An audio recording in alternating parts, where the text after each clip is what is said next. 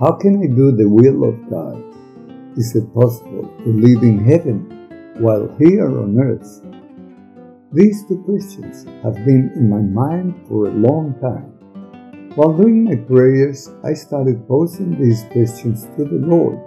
And then He said to me, My will is not something that will come as black and white into your mind. I speak through my Holy Spirit in very varied and subtle ways that are not picked up right away, but rather will become the thoughts and desires of the soul in such a way that eventually it will do my will if it wants to, or perhaps not. When something is good, it is my call on the soul to do it. I have already expressed my desires through all the commandments to keep them is a sign of the soul's desire to do my will. When you do my holy will, you will experience great peace. You will feel useful. You will desire to do more for me. You will be filled with joy. Your desires will be united to mine, and you will feel my presence in your heart continually. When you rest in my presence, you have a share in everything that I have my peace, my love, my joy, and all my perfections. The more you do my will, the more intense will be my kingdom in your heart. You see, I have taught you to pray for the coming of my kingdom and for my will to be done on earth as it is in heaven. That is, to be done in you as it is done in me. When you follow the promptings of the Holy Spirit, you are doing exactly that. And what is the reward of the soul for doing my will? My will is the true holiness that you must find, to be holy and live eternally. It is the will of the Father, because in that will is my kingdom, which united to my will is my greatest desire.